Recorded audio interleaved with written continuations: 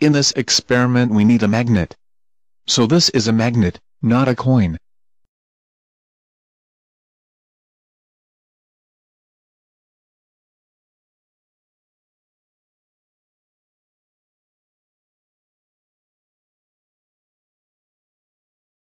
We also need a container, where the inside wall is covered with aluminum foil.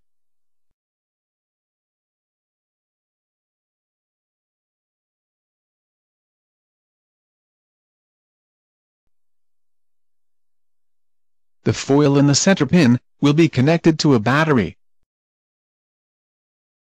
Make sure the magnet is right under the center pin.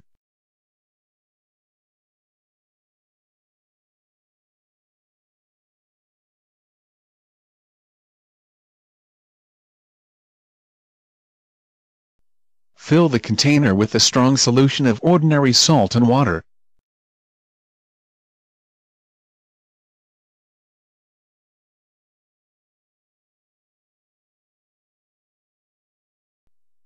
Now, connect the battery.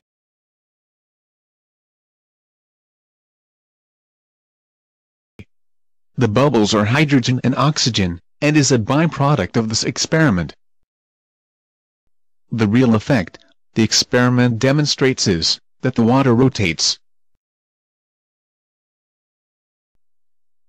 As you see, the water rotates clockwise. See the description of the movie, for an explanation of, why this happens.